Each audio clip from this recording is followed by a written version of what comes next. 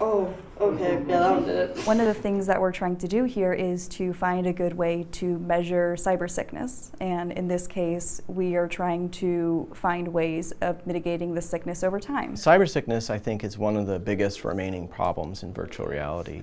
It's a barrier for more than half of people who will experience VR and have to end prematurely due to symptoms like nausea, um, disorientation, headache, eye strain, sweating. You might be going to the left, actually. So cyber sickness is this experience that we think develops because of conflicting sensory signals.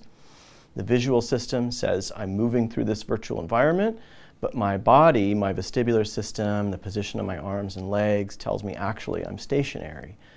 And that conflict leads to symptoms of sickness. One of the things we're looking at is how, over time, sickness is reduced through repeated exposure um, by about 10% per exposure. One of the biggest ways we've been really able to show mitigation techniques for cyber sickness is to include more body cues in the virtual experience. If you're able to integrate more and physically move around the space, it's going to integrate a lot more of those body cues and help reduce sickness. And so it's a barrier for not just experiencing games and entertainment, but also for experiencing things that are uh, you know, educational, um, job training, um, things that will help them you know, develop their careers.